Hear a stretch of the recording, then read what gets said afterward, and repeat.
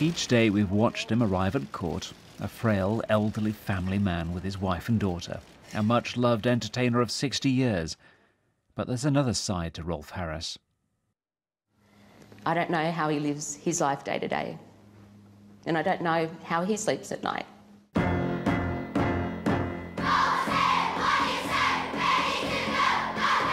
Back in 1978, he'd already been a TV star for 25 years. Welcome to the show. Here we are.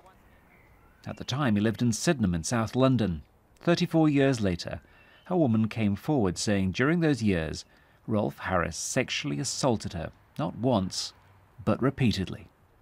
She'd been a friend of Rolf Harris's daughter. He'd known her ever since she was a little girl, and the abuse began when she was 13 years old. It was back in the late 60s, around the time he received an MBE, when little Bindi here became friends with the girl. It was this letter, written to her father 30 years later, that was proof of a relationship. He said nothing happened before the age of 18. Her family didn't believe him, neither did the jury.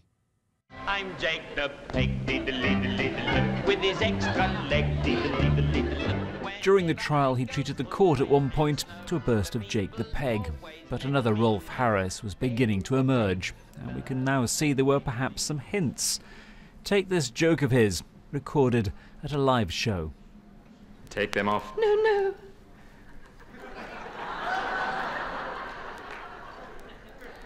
Get them off. No. I am only 13. This is no time to be superstitious. A pattern was appearing. Women came forward from across Britain, across the world. Near Portsmouth, one woman says she was eight at the time, maybe even younger when she was assaulted, after asking for an autograph. In Cambridge, at a TV show in the 70s, he denied he'd even set foot in Cambridge before 2010. And then this footage emerged during the trial. And welcome to Cambridge. It was in Cambridge in the 70s. ITV's version of It's a Knockout. He was a team captain. In southeast London, an Australian teenager assaulted during a meal at a pub. Tonya Lee was 15 at the time. It's taken her 28 years to speak out. I was absolutely petrified, and I, um, no, I just, I wanted to scream, but I didn't. I knew that what he what he'd done was wrong. I was embarrassed as well, and then I thought, like, I didn't want to tell anybody that he'd touched me. The list goes on Malta, an 18 year old, New Zealand, a 16 year old, Australia, a 12 year old. One TV makeup artist said they had a name for him the octopus. This was a man who'd been a children's entertainer for 60 years. Well, there we are. That's Oliver Pollett, the nice old octopus. He'd even fronted a campaign about child abuse.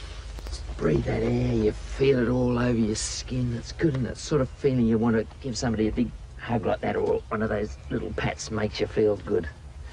And it's that sort of touching I want to talk about today because it helps you to understand the sort of touching that doesn't make you feel too good. That's super. What a smooth talker. No, but the outfit is absolutely... In 1986, he appeared on breakfast television to promote the campaign. I, I had such a marvellous childhood, you know, as a kid no hint of anything nasty anywhere, and uh, in a way, it's it's a sort of a trying to pay back. This was a man generations of children had trusted. You get to an age when nothing is meant to shock you. I found it shocking because it is a bit of your childhood being ripped apart, quite apart from the childhoods he, he, of these women he seems to have ripped apart. He's been on TV since the 50s. That glittering career, that artistic talent, However, there is, it seems, another side to Rolf Harris that has, until now, been hidden. David Sillito, BBC News.